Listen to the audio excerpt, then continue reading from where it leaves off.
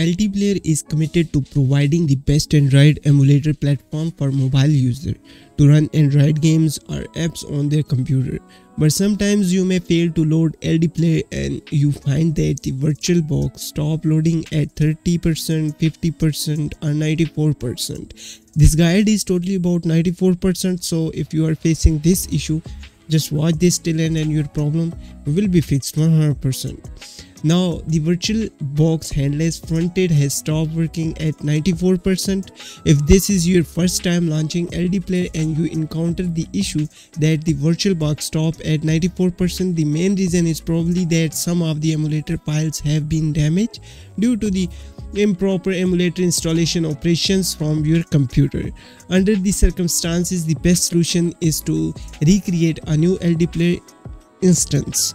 So for that, simply you need to find your LD player right click on it and go into the properties.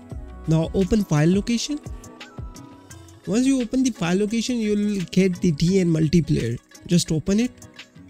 And now you can just create a new LD player. Over here just create a new LD player and it will create for you. Just start it. You can also customize it from here if you want. And this will work fine for you this another thing just uh, sharing with you you can just make a backup when it's working fine. So whenever it start crashing just load your new backup. Now the main thing let's move on the main thing if the newly created LD Player instance is also stuck at 94%, you need to check whether the CPU, memory or emulator installation hard disk is fully used or not.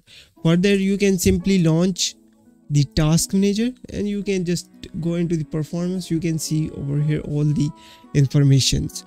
For further informations, you can simply go or you need to download the CPU Z applications to check the further informations. Sometimes LD player will crash or be stuck at 94% if the graphic memory is nearly used up.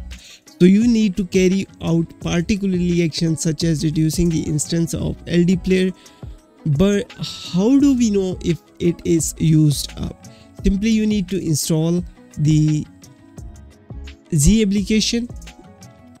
Once you install this, it will uh, look like this just click on next and install. Close. Now it's launching. Now the first thing in the graphic tab you can see the maximum of your cpu memory. Here memory size is uh, i have 1060 so it's 6 gb graphic card. So total size is here. Now go in the sensor and here you will find the memory that is in used so memory used we need to find here the memory used. It's 17 mb so it's fine. It's working for me even. So in case if it's not working for you just restart your pc and check it out if still it's facing then create once again a new ld player instance and that will work for you. I hope your problem should be fixed 100 percent. If still you have any question just let me know in the comment section. Till then just take yourself. Allah hafiz. Bye bye